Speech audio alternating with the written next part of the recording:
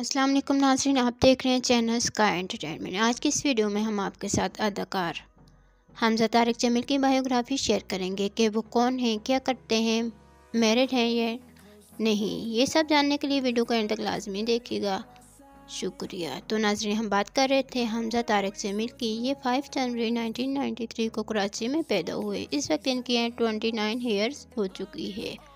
अगर इनकी हाइट की बात की है तो इनकी height five feet six inches और इनका वेट सेवेंटी के जी है और इनका रिलीजन इस्लाम है। इनकी नेशनलिटी पाकिस्तानी है। इनके हॉबीज़ में ट्रैवलिंग और आउटिंग शामिल है। अगर इनके आइस कलर की बात की है तो इनका आइस कलर ब्लैक जबकि हेयर कलर ब्राउन है। और इनके एजुकेशन की बात की है तो ये ग्रेजुएट कर चुके हैं।